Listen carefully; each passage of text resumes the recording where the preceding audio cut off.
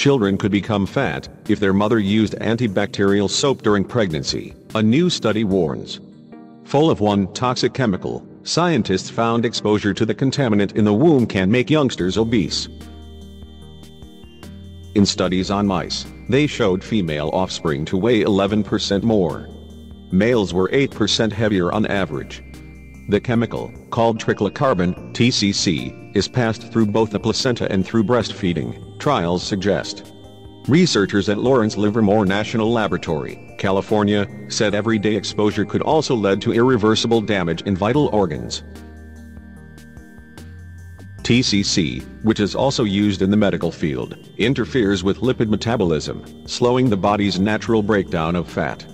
Lead author Dr. Heather Enright said, We demonstrated that TCC does effectively transfer from mother to offspring, both transplacentally and via lactation. Exposure to TCC during development may pose a serious health risk to the developing embryo and fetus. They are more sensitive to alterations in hormone levels, which may result in changes that often are irreversible. She continued, Our results are significant because of the potential risk of exposure to TCC through contaminated water sources, and in the living environment. Early life exposure has the potential to cause irreversible outcomes due to the fragile nature of organ systems and protective mechanisms in developing offspring. The study, published in PLOS One, provides the first evidence yet that TCC can easily pass from mother to offspring. It's concerning, given the chemical is among one of the most commonly detected contaminants found in wastewater.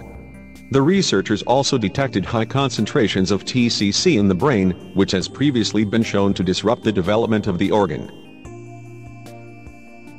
Imaging scans show the chemical was collected in the heart and fat too. They made the findings after tracing the chemical in the bodies of female mice, who were administered with the chemical. Last autumn, the U.S. banned 19 different antibacterial chemicals, including triclosan and triclocarban, saying they were not effective at killing bugs. British firm Unilever said it will phase out the two chemicals by the end of this year, replacing them with natural and nature-inspired antimicrobes. The new study follows a University of San Francisco report in June that suggested antibacterial soaps are useless at killing germs. More than 200 scientists compiled evidence to warn the chemicals in such products could be causing more harm than good.